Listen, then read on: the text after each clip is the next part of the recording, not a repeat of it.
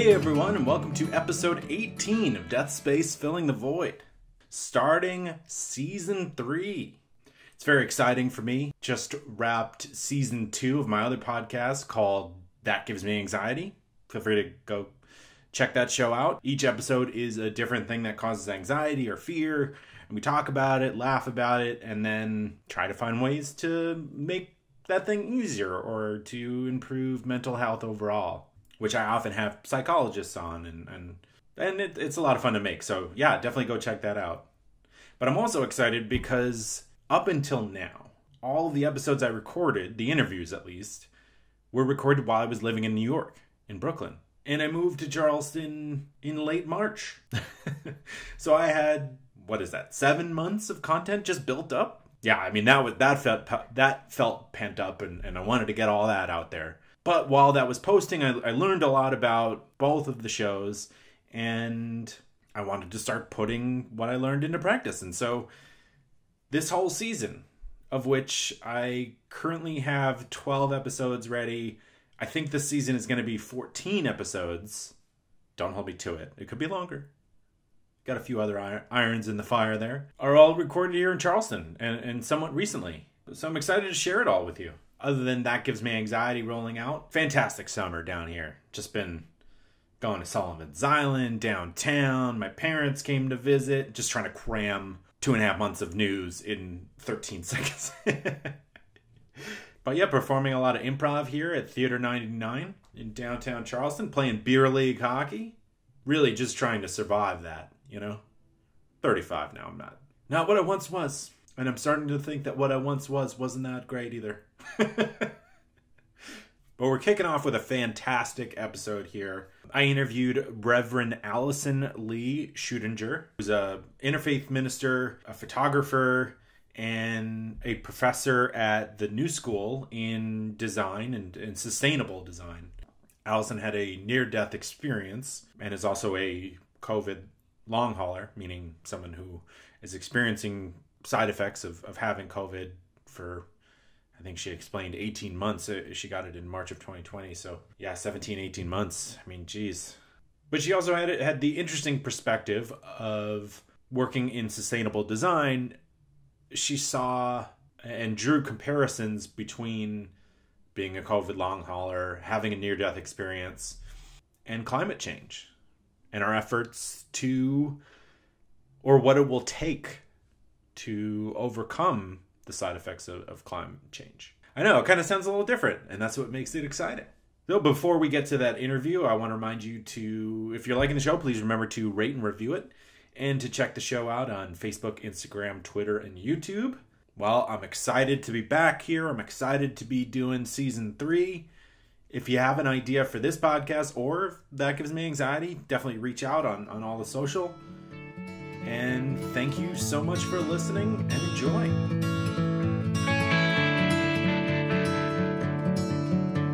Joining me now on the podcast is Alison Scheuttinger, who is a professor who is a professor of sustained systems at Parsons University. You know, I always have an issue with the intro. I don't know what that is, but it's the only part that's formal. The rest is just human to human. But thank you so much for for joining me. Of course, yeah. Thank you for for taking my offer and engaging conversation with me. Of course. Yes. So we connected over Instagram, I believe it was, on, on social. You liked an image I posted. Mm, yeah. Oddly enough.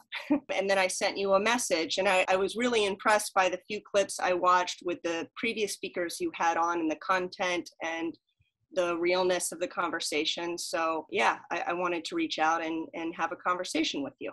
Awesome. Well, thank you so much for doing so. Yeah, I, I spend a lot of time on Instagram, especially for death space. I'm just curious how people are talking about death and and grief and, and stuff like that. And I read a lot of different posts. It's been really eye opening. There is a lot of people doing really good work out there. So people, I'm I'm out there on Instagram. I'm reading. so I, I guess we should start by you telling us a little bit about yourself. Yeah, so I, I, teach sustainable systems. So you got the title mainly correct Sustainable Systems at Parsons School of Design at the New School. And I love it. It allows me to be a student and continually be mm-hmm. immersed in a very live, organic, constantly evolving subject, which is how we relate to ourselves, each other, and the planet, and how we can make better systems, designs, stuff, and even ideologies that support that stuff. Well, I'm curious. So that we can more just and sustainable present and future. Yeah.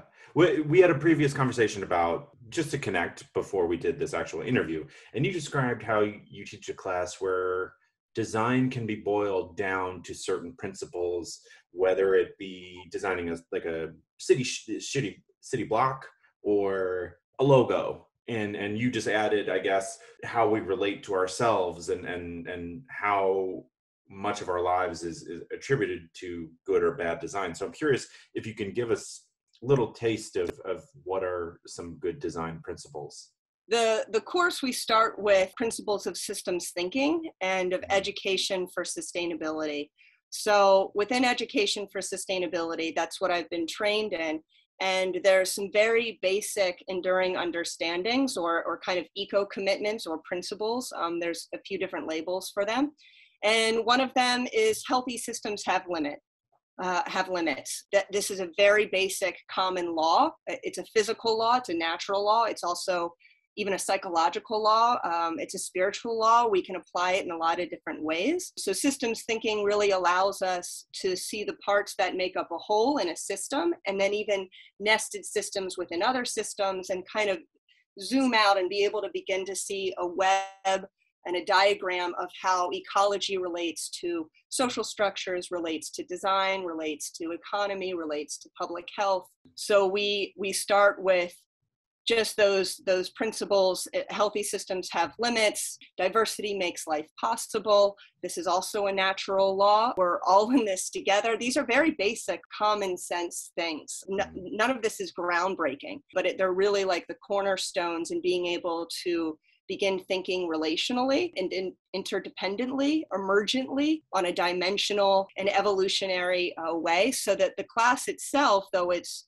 medium is design is really a way of thinking and a way of being in the world. That all sounds so incredibly interesting and it's so true right? Whether it be systems are all in an, some kind of balance whether it be the atmosphere or whether there are too many coffee shops in brooklyn or too many wolves means too little deer we're all in this complete balance that's so delicate. Yeah. We are essentially one organism right. uh, many parts to one larger organism. Which always makes me think about whether the earth itself could be deemed an organism because it has all these systems it has mm-hmm. you know an internal structure and and everything everything is tied together which is which is a nice feeling. It is. It is. Yeah there there's an element uh, uh, of the unexplainable within the science. So I, I, think that's a really exciting piece. It's a really interesting piece. It's why I studied to be an interfaith minister uh, because I don't believe we can have separate conversations that I believe science and spirit work together. And and then it's also uh, greatly influenced my personal life and part of why I reached out to you with a personal experience uh, in relation to death. But all of these things uh, are very much related. I, do want, uh, of course, want to get to yeah. the near-death experience, and, and, thank you for for being open and, and sharing this with with everyone. But I am curious about the interfaith minister aspect of of your life. I don't I don't even know where to begin really. It, it so it's I'll let you explain why. I, I just I, I don't fully know what that means, and I'm I'm curious to hear more about it. Yeah, and I don't think there's one one set definition, at least not for me. I, I came to this from a place of desperation. I was working full time as a sustainability coach in an elementary school here in Greenpoint, Brooklyn. Uh, and it was the ideal on the paper job that I wanted, doing all of this incredible on paper work. But it wasn't enough for me. So the recycling and the gardens, I, I, wanted to go deeper. Something felt like it was missing, that we were just scratching the surface, and even that was difficult. And that if we didn't reach this this deeper, potentially moral or like value or more implicit, some maybe what might call it spiritual level, that we, we might not be able to influence or inspire people to shift or change behaviors or change mm-hmm. cultures, mm-hmm. aka getting people to recycle properly, which is something that's been in place for decades and is still really difficult. So, so I was doing this job, not feeling fully satisfied, knowing that I needed more. I, through a very random series of emails and websites and research, found a workshop on shamanism. And that was held at a place called, it was just a one day, held at a place called One Spirit Learning Alliance. I was then reintroduced to a, a very deeply intimate relationship I feel with nature and have my whole life. And a few months went by, I went back to the swing of things, and then I remembered that place and re-looked into it, One Spirit Learning Alliance, and saw that they had a counseling, interspiritual counseling program and an interfaith seminary program. So I signed up actually for the interspiritual counseling. My background and my master's is in psychology, and with a focus on neuroscience and behavior change and positive psychology, but they required a foundation year in seminary. And I said, Seminary? Like, pff, that's not for me. Um, I associated it with Christianity or, or just with an institutionalized religion. I went to the intro workshop and I was completely blown away by the deans, their facilitation, the space, the openness. There was no preaching. There was no, you have to be a certain way or think a certain way or believe in something. And before I knew it, I was two years later graduating from the Interfaith Seminary. Um, cool. So, what it means to me and what we explored within that first year was 12 of some of the world's largest faith traditions, one a month. Um, and we really devoted ourselves to a different fa- faith and practice beyond Abrahamic traditions. And then the second year was really a practicum. But that this was all just kind of one layer of it because there was a much more deeper kind of transformational layer uh, that we all went through as peers and students. So it was a very deeply personal and transformational process.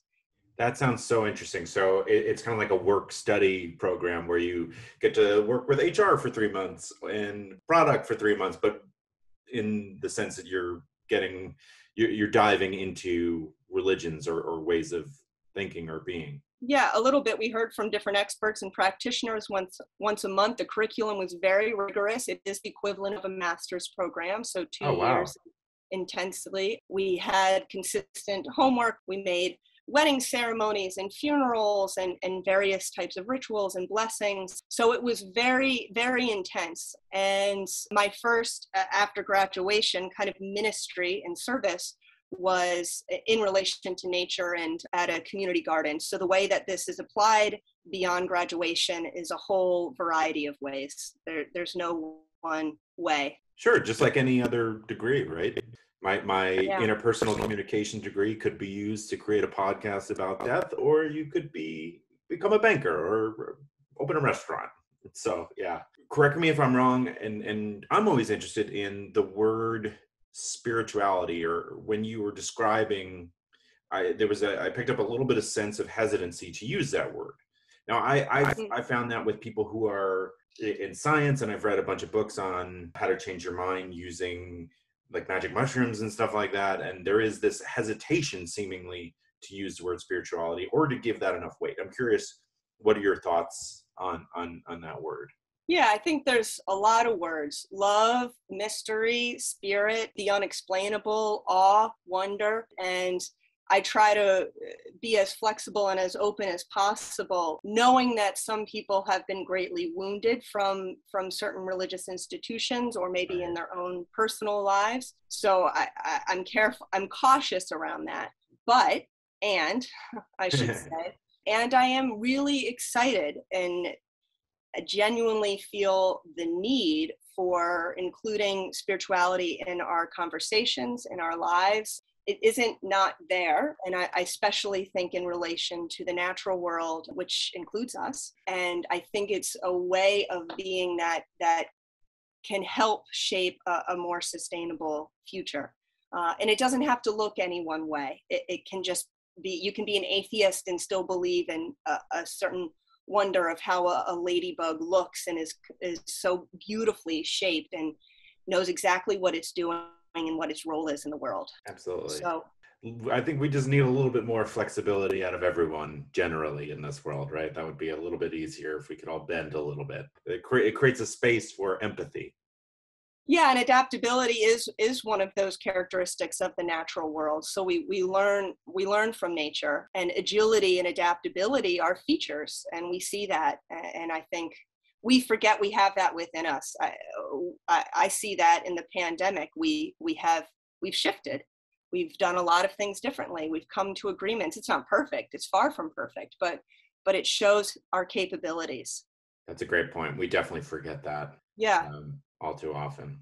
Well, I, I want to go back and, and talk about your near death experience. Can yeah. you tell us a little bit about that? I don't want to steal your story. Oh, no. This, uh, and I think it relates to the theme that we've already kind of discussed. And it definitely helped influence the spiritual relationship I feel in relation to the world and beings around me. And so, about 15 years ago, when I was 19, I had a subarachnoid hemorrhage that was the result of multiple aneurysms rupturing inside what's called an AVM, an arteriovenous malformation. On an MRI, it looks like a cluster of veins, like a hairball, and it was inside my left cerebellum, so the little brain. And they there's there's really not a lot of known consensus of what causes AVMs, this abnormality. They they assume it's congenital. And within that abnormality, I had aneurysms we didn't know about, and then they ruptured, causing a subarachnoid hemorrhage. An aneurysm is is what exactly? Because I think it's like a blockage in your brain, but that's a stroke. So I I, I want to make sure I have the right. Thing. So a, a hemorrhage is a type of stroke. Okay. And an aneurysm can be a clot or a thinness of the vein, and I had the thinness which which we didn't see on the MRI. So there were multiple places that were so thin that they ruptured, um, actually during and during a, a, routine medical procedure. So I was wow. in the best hands possible when the hemorrhage happened. Oh my goodness! I was just about to ask where you were. Like, were you jogging, or, or, or yeah, I, I suspected there would be some sort of like elevated heart rate, but this just happened while you were getting routine care. Well, so I, I, I signed up for brain surgery because I uh, they wanted to remove it. First, we were going to radiate it, and then I got a very good feeling by a very special doctor, Dr. Solomon, and I said, "Nope, I want him to be my brain surgeon. I want to have this removed." And again, they told me this was non-symptomatic; that they're just removing it to be cautious in case it does hemorrhage. Got it. So we thought this was just like mm, abnormality, no big deal. But for years, I had symptoms of lightheadedness, dizziness, numbness in my extremities. And when I would elevate my heart rate and my blood pressure would go up, I would start to feel faint. So I would lose hearing, I'd see spots. This would happen maybe after 20 minutes of dancing. I'm a teenager and I have high energy and I love dancing still to this day. So that was very difficult. There were many, many cases where I got used to lying on the ground at a party and people just got familiar with that. Oh my goodness. so so we we signed up to have it removed, still under the assumption that these symptoms were unrelated to that, and then the hemorrhage happened. The hemorrhage could have happened if I were to push myself at any one of those other times. Probably, likely. Oh we don't goodness. really know. Yeah, so, right. So it's kind of incredible that it happened in the hands of uh, specialists who are able to what's called embolize it immediately. They stopped it with glue. they could see blood spreading on the screen and they they embolized it. That's great. I also love how you described. Uh, you know, I got a good feeling from this brain surgeon. That feels good. That feels good. That must have been a very yes. important. I'm very particular about the coffee shop I go to based on my interaction. So I, it's good to have a brain surgeon that you're like, I'm into this guy. This guy, this guy knows what he's doing. It's kind of it's like really precious territory there. Yeah. So you feel good about the person. Right. Absolutely. So then describe what happens at that moment when when it when you do have this aneurysm? Right. So I wasn't functioning. They embolized as soon as they could. So they were trying to stop the blood flow. But even within a matter of seconds, blood has already started spreading. I've had an excessive amount of cerebral spinal fluid, which is also what's released to help protect, from my understanding, protect your brain. Mm-hmm. So the amount of the cerebral spinal fluid in blood is so much pressure that I wasn't functioning properly. So I was not awake. I was not conscious during this time. Mm-hmm. Doctors, therefore, went out, saw my family. I have no idea what their faces looked like in that moment. They then, I, am not even sure how long of a time period they gave it before they drilled a, a hole in my skull and then put a catheter inside to alleviate the pressure in what's called a brain splint, like a shunt. And that the the catheter and the tube then went to literally like a bag that was filled. It almost looked like Kool-Aid next to my head. That's what I was told. Oh my god. And that that was connected for I believe almost nine days. So it was I was in ICU for nine days, and I believe I was tied to that for that entire period.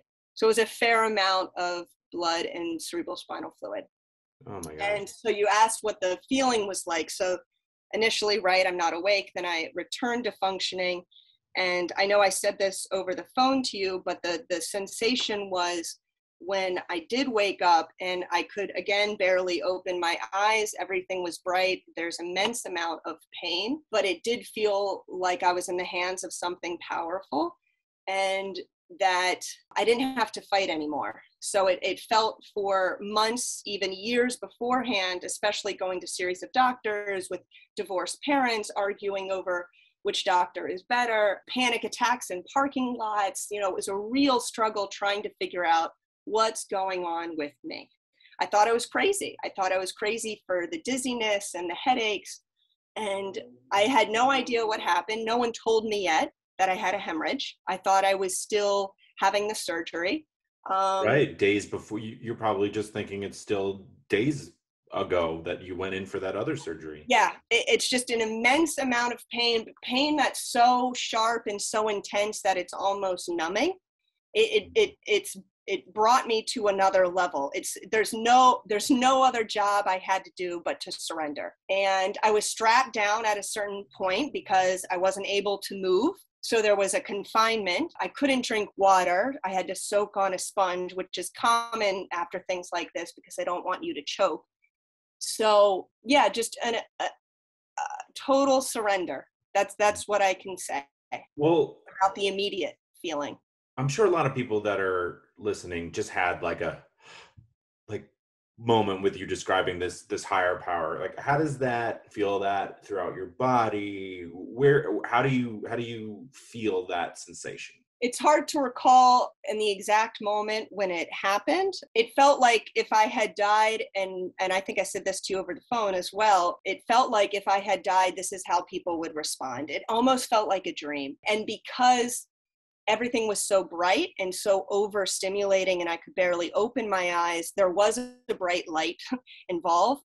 I think it's it, it i don't know you feel it in, throughout your whole body because it's a it's a it's like a non-feeling feeling. You kind of transcend the pain because you don't really have any other option. You're just Mhm. there. My only job was to be there. I didn't have to do anything.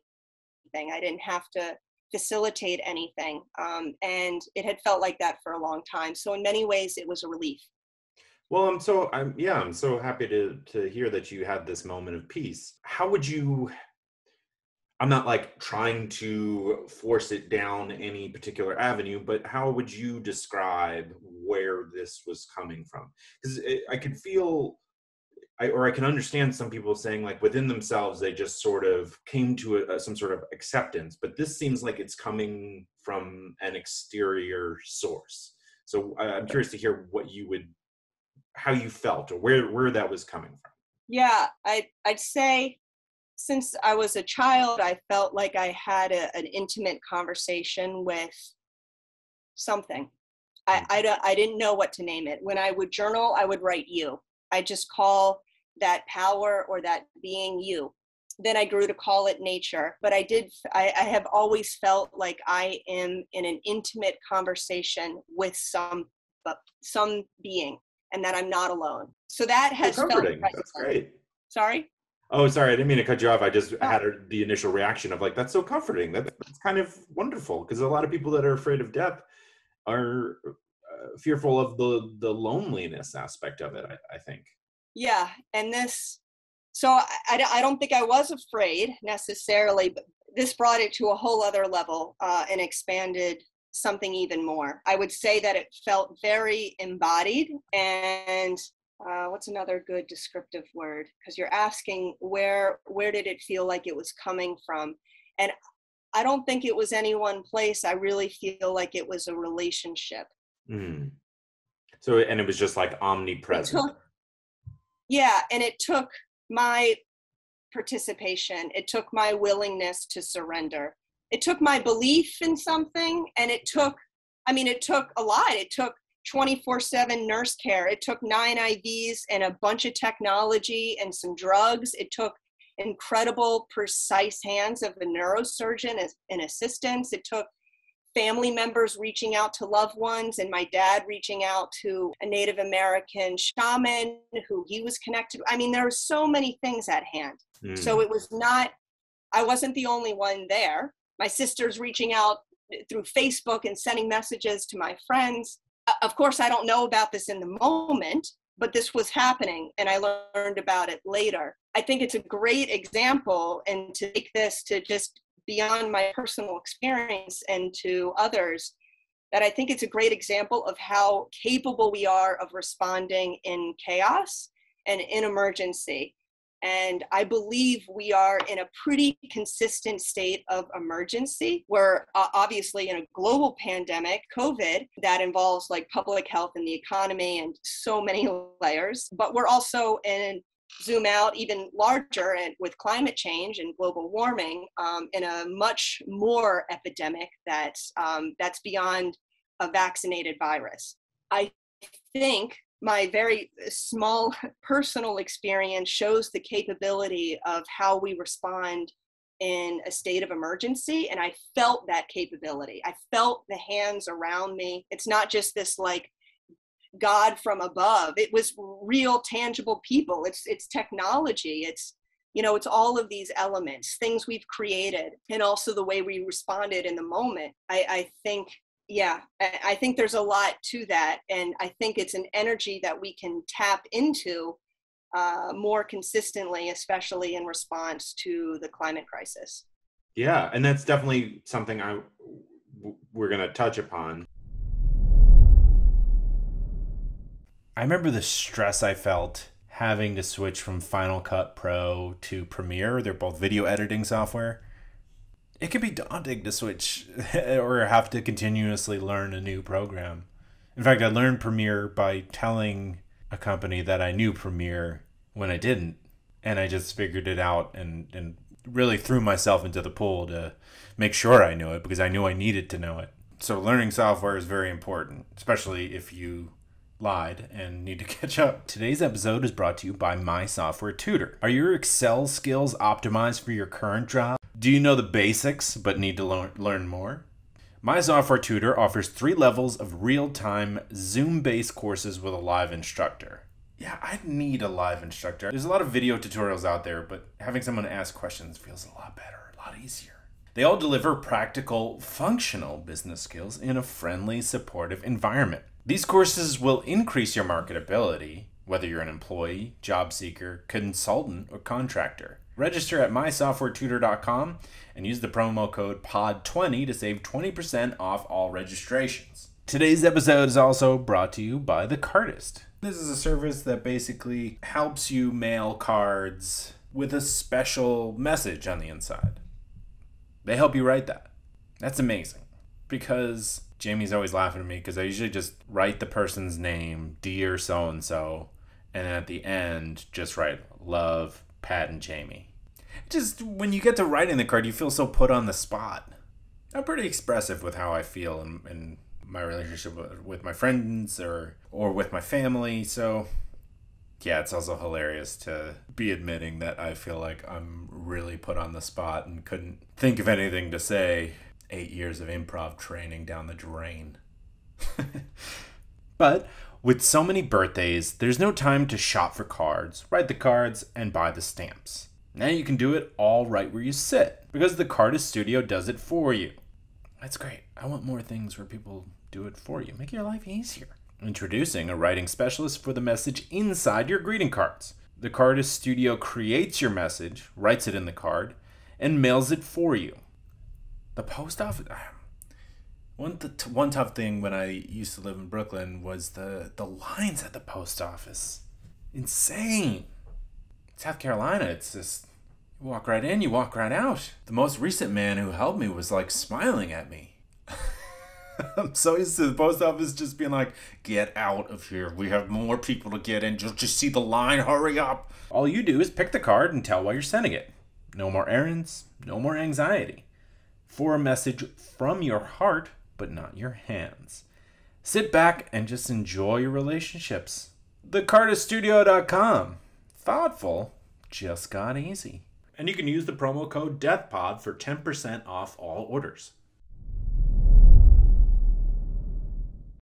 when you explain this to your family, when you explain there was this source of energy that was asking you to surrender and and that you were in good hands, uh, how did they react? What did they take from that?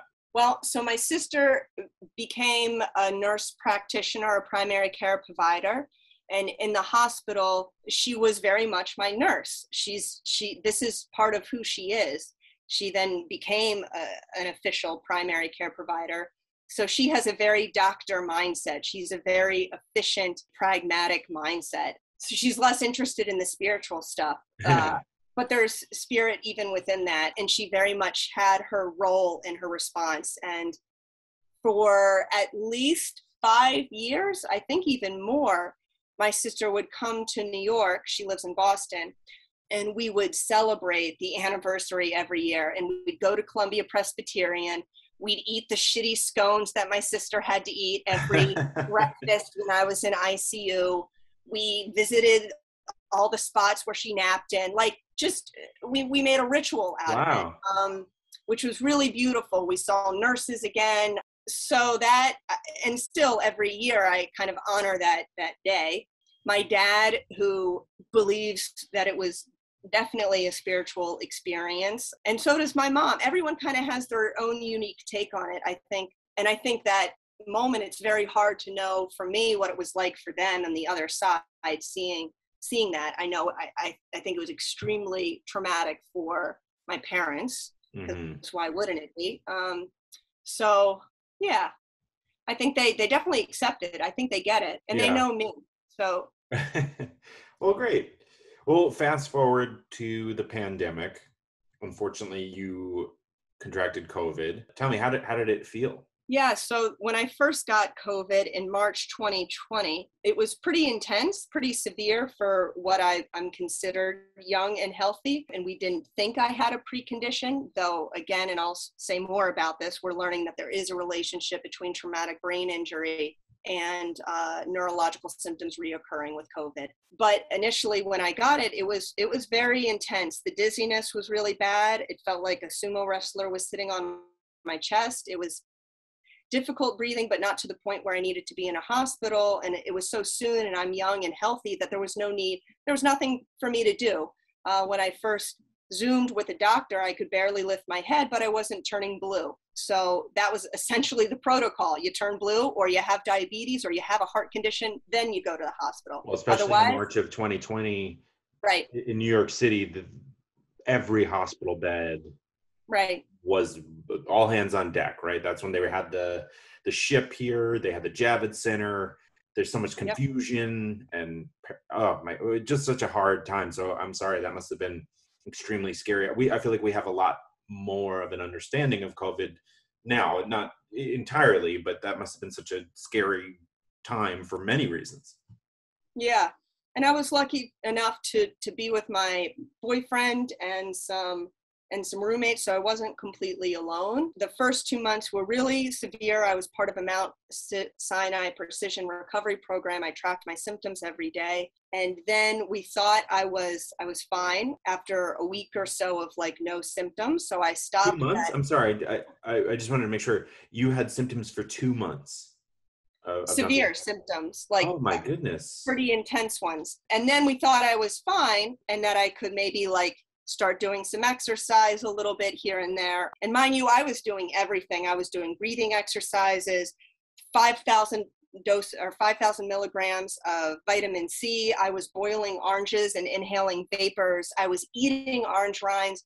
I was doing the natural stuff, the like my, my stuff my sister's telling me to do, who's, you know, hmm. as you know, a doctor. So I was trying everything. I was sleeping 12 hours. I would melt at about 5 p.m. and literally felt like ice cream like you couldn't you couldn't lift me if you had to. Oh wow. And then again we thought everything was cool but symptoms lingered and continued. About six months after march 2020 i had a very intense vertigo episode just a block down when i was walking my dog. I sat outside a bench sipping a latte and suddenly out of nowhere i could not see straight. I didn't know what direction was what oh and oh i couldn't i couldn't stand i had to have a friend come pick me up. Yeah it's not a fun feeling. Vertigo is really really disorienting. I, I saw a neurologist um, nothing structurally is wrong with my brain. There's no other hemorrhage or no other brain abnormality. So i've seen a bunch of doctors since because symptoms have continued. It's now been 17 months since march 2020 and I have consistent dizziness, lightheadedness, headaches, disorientation, weird things of like a metallic taste in my mouth. So it's not like I've lost taste, but it kind of tastes like metal. Tiredness, of course, fatigue. I have to pretty much shift my activity about every two hours. Uh, so I have to break it with maybe rest or which helps that i primarily work from home now although that's going to shift a little bit. Uh, brain puzzles.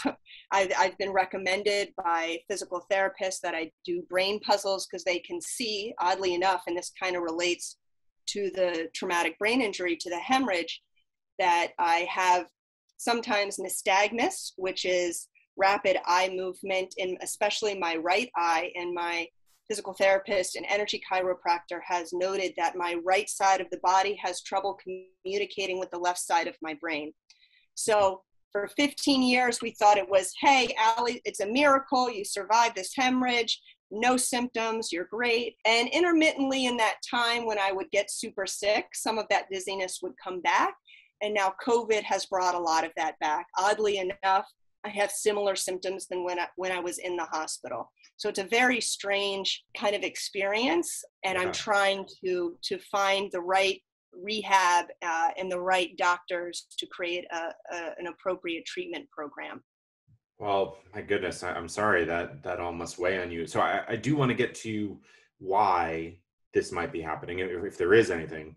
Uh, but before that, being a COVID long hauler, as as I believe people are referring to cases such as yours. Mm-hmm. What's what does that feel like mentally? What knowing initially two months of heavy symptoms and now 17 months of significant symptoms how, how does that play out in your mind definitely anxiety and loneliness for i'd say off and on throughout those 17 months part of me about maybe two two three months ago i can't i don't know what time is after reading some books uh, about uh, neuroplasticity and the brain's way of healing itself. It's an incredible book. I highly recommend it. And looking into some other resources and kind of just my own meditation it, it allowed me to come to accept similarly like in the hospital of a, a place of surrender and a place of acceptance. Okay this is this is my reality right now. I don't know all the answers. Doctors don't know all the answers. I've had a neurologist tell me point blank, there's nothing to do about your symptoms, period. Oh my gosh. She said, You've had a hemorrhage in the motor coordination in the balance part of your brain. You will always have dizziness. And I had to look her in the eye and say, No, I don't believe that's true. I believe there's resilience in the brain, just as there's resilience in the natural world, and we have to tap into that plasticity. I've intentionally tried to alleviate the emotional anxiety because that's energy taxing in, in of itself. Mm-hmm. I can't afford to question it anymore. I can't afford to doubt my own symptoms. It is, it just is. And it's helped to have a partner mirror that. It's helped to have uh, people in my life, close friends who have had chronic conditions like chronic fatigue, who are, it's very similar to COVID. So I have a lot of close, close people in my life that help remind me I'm not alone, which is mm. very, very important. And also just a level of acceptance of like, all right, this is it right now, and we have to move forward. In fact, maybe the why doesn't matter so much and and it's the response and how we respond to this stress right now. And it also makes me think of climate change and how we respond because we could sit here and argue all day long if this hurricane is a cause of climate change or that wildfire is a cause of climate change or what's this and what that.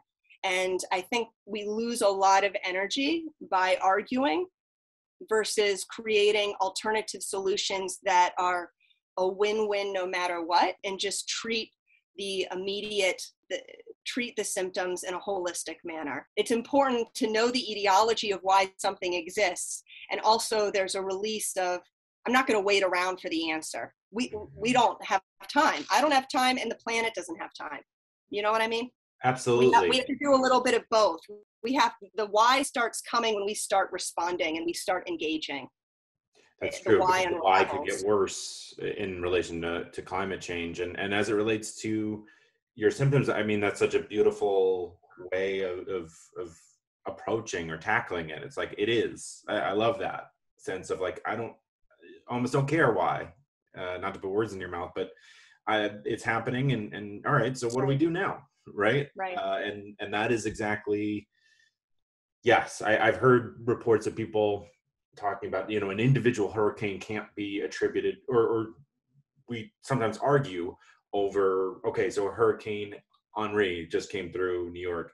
Was that did that happen because of climate change or is it just like the atmospheric conditions were right? It doesn't matter. The point is there are larger storms rising seas uh, you know where we continue to admit so if that one part of the problem wasn't caused by it, it doesn't matter. There's there's still the aggregate to look at, and the aggregate is is important.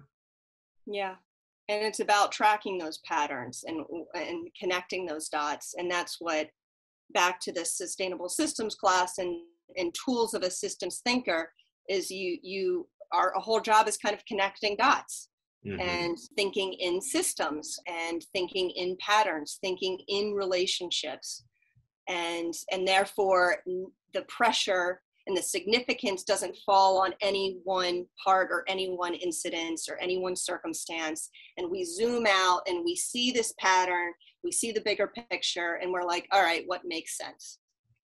What makes sense is i get rehab. What makes sense is we rehabilitate our our planet and our way of thinking. You know, these things I feel are very much related. In some ways, I think this experience as a COVID long hauler with traumatic brain injury history has allowed a more intimate window into how I feel the earth must feel. I'm more sensitive to stimuli and to sound and to light. I can't ride the subways with the screeching. I feel I'm doing this. You see me in the city and this is how I look. And that's only if I have to for work or for doctor's appointments. So my my life has shrunk, um, and yet it's also expanded. My relationships have have gotten deeper. Um, I'm not running around as much.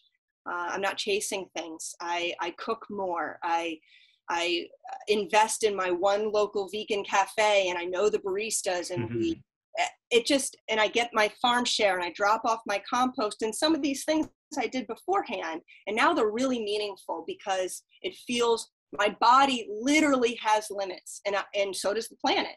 But it's very easy to disregard the planet if we're running around like i did in my 20s traveling everywhere and that's great and i learned a lot from that. And now it's like i care about my 10 blocks and mm-hmm. and this is what i'm capable of holding and i feel a lot better when i am able to work within this limited range. Because all all systems in balance have limits Yes. Yes. Yes. Student, you are. Yes. Well, you kind of answered the the big question that I had is is how does a, a near death experience and a COVID long haul relate to climate change? Uh, I don't know if there was something else you wanted to add to that, but yeah, I feel like you did do a very good job of, of tying the two together. Yeah, I'll just say I think I think we're in a near death situation. It might be a little bit longer than literally seconds when someone doesn't start functioning because blood has spread in the brain, but blood is spreading in the planet essentially and the the planet is on fire and it is a state of emergency. Uh, it's not often so physical right in our front and yet it is. We're, we're seeing these changes. So I, I do believe there the metaphor is quite literal that we're in a in a state of emergency, and we don't really know how our species will survive unless we respond appropriately. And there's more than enough science to show that, and there's more than enough different disciplines of people that have provided that, and indigenous people who have prophesized it for centuries. So this isn't new, but we really are coming up to a breaking point. It, it, it has been breaking. It's it's breaking it feels like how I did when I was 18 and the symptoms were getting worse and worse and worse and I was pushing I was pushing pressure on those aneurysms, right? Until they ruptured. And I think the pandemic is is kind of a metaphor maybe for that rupture. We we've we've ruptured we've paused capitalism for, for a moment in many ways. Uh, wildlife grew back. We saw increases of many different species because of our less consumptive patterns, just pausing from a pandemic.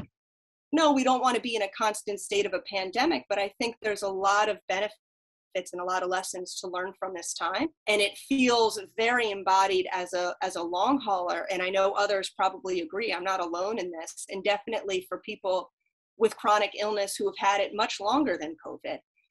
They're much more sensitive to their surroundings. And I, Kate Knopf is a is an author who writes about chron- chronic fatigue syndrome, and she really believes that illness is eh, a transformational process and that there's an alchemy to illness and i do believe that illness is an innovation it's it's it's a window you know something's not working it is it's our body telling us something. It's the body of the planet responding with these more severe natural disasters. It is telling us in all of its ways enough. Enough. Right. That's a great metaphor. You described going back to your near death experience you said you kind of shook off the word fear or saying you were you were afraid. Do you have any advice for someone who might be going through or, or a near near death experience or I, I frankly was surprised to hear that you didn't describe yourself as afraid. Uh, i'm curious why that is. At 16 i was well actually i have it right here. I was gifted this incredible book. It's been my bible. It's called women who run with the wolves. As you can see it's quite worn. It's been read um, a few times. yeah and i got to about page eight and this was at my 16th birthday and i said that's it. Life is a web. I could die and it would be okay. So this Just like that, huh? I started a whole you remember a specific to help me with my fear of death. But I'm I'm I'm not like saying like everyone should be afraid. I, I'm just so envious of your ability to be like, sure. I said that at 16.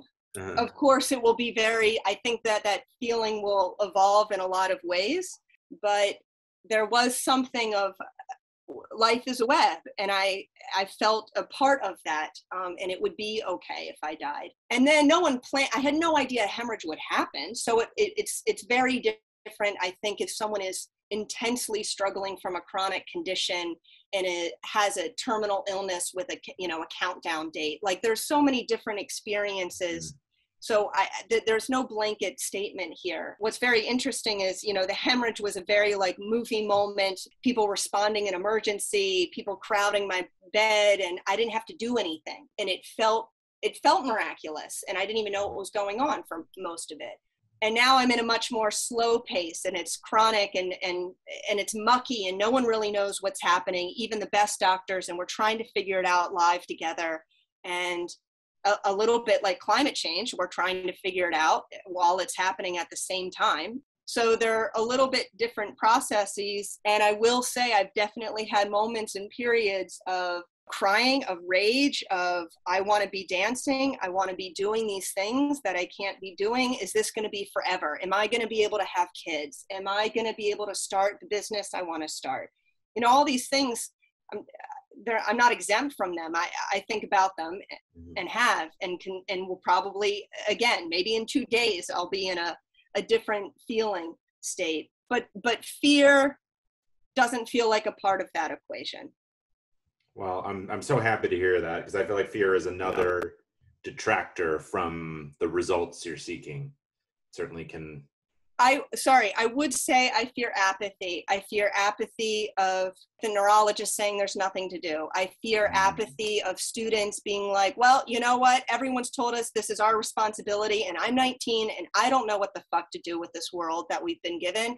And everyone says we're going to die anyways. That scares me. Yeah, understandable. That apathy and the hopelessness that's what I feel I'm always up against. And it's not of my nature. I am a believer. I can't not believe. It's very difficult, but that's what I'm up against. And sometimes it can feel discouraging and it can be disappointing. And I have to feel that. I have to let myself cry. I cry on a regular basis. It's, I think, a very, it's like a very important practice um, to just feel it and get it out. As a as a new crier, I, I can vouch for that. You know, growing. Cheers up to your new man. crying. Yes, as a as a man growing Good up. for you. yeah, we're kind of taught like suck it up, you know, rub some dirt on it. But then when you grow up and uh, I've been able to chart my chart in my own way and and learn that that is an extremely helpful and useful tool. Yeah, know good what? for you. That's great. Thank you. I want to go back to you so in the room, you know, what, what frustrates me about climate change, and this is exactly kind of what you were just saying. In in the room where you have your aneurysm, everyone in the room is on board with the problem. We're solving it and we're Right. doing our part. With climate change, you know, half the people in the room are watching then- TV, you know? it's Right. like we don't have all The that. nurse is in the bathroom watching a TikTok video. The doctor's like, I don't know. I don't believe in it. So maybe it does exist. Maybe it doesn't. I can't see it. Right. I can't see it. I can't touch it. Right. So uh, it must not be real. right. Wow.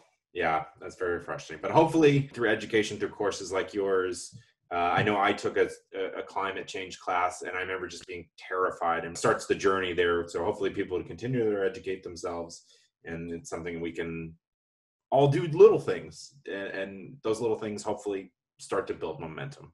Well, I, I'm curious if there's anything else related to your near-death experience, being a COVID long hauler, or climate change itself, and, and trying to solve that problem that that you think we missed, or, or that you would like to add.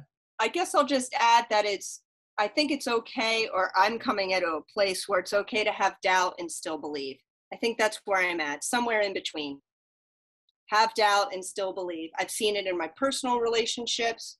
I've seen it in the relationship we have with each other and with our planet. And I think that in between place and not on one extreme or the other allows Flexibility, another theme here. Yeah. right and the reality i'm, I'm not I, I i'm a big fan of not being like pseudoly optimistic that's that's actually very irritating to me personally it's almost as irritating as the apathy you know and i think right are are on one extreme uh, end of the spectrum and the other and i don't know my ministry feels like it's in between i'm with the in-betweeners Love it. Yeah. Little gray area for everybody. Thank you so much for your time. This has been a, a great chat, and I, I hope that you feel better soon, as soon as possible.